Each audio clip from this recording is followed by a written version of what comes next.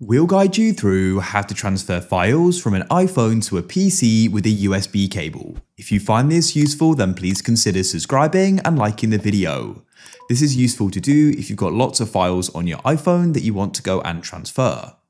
So to go and get started, we need to go and open up the App Store and go to the bottom right and click search, and you need to go and get Google Chrome. So go and download it and we can then go and open it up.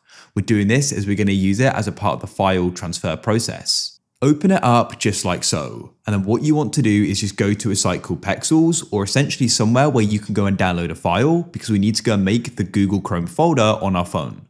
So you can come and click on Pexels. As I said, you could go elsewhere. We'll click download on this image. Then in the bottom right, you can click save, select files and press save and that's it. Then what we can do is go and open up the Files app like so. We can click on Browse in the bottom right and click on my iPhone and you should have a folder called Chrome. There it is. Now what you need to do is go and move the files that you wish to go and transfer to your PC to that folder. So for example, let me come into this example folder.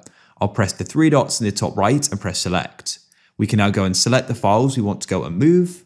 With them selected, click the folder icon at the bottom, and then you want to go and find the Chrome folder. So I'll press that there, and we can press move in the top right. On your computer, we need to go and get an app. So click on search at the bottom and go and type in Microsoft Store and open it up. At the top of the store, you can click on search and you want to type in Apple devices like so, then click on it and we can come over to the left here and press install. In the meantime, you can go and connect your phone to your computer. So grab its cable and go and plug it in at both ends. If it's the first time you've gone and done this, you'll go and get a trust pop-up which you need to go and agree to on your computer and you need to go and enter in your passcode.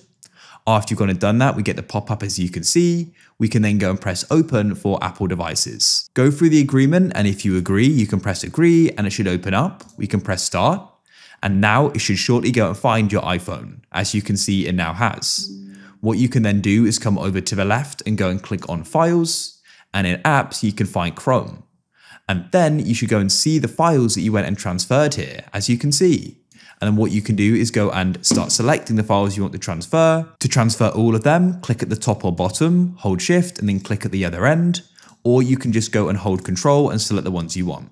And what you can then do is go and click on save for them selected in the bottom right and you can choose where you want to go and put them. I'll put them in this backup folder, so I'll select it and press select folder and that's it. They'll then go and be saved there.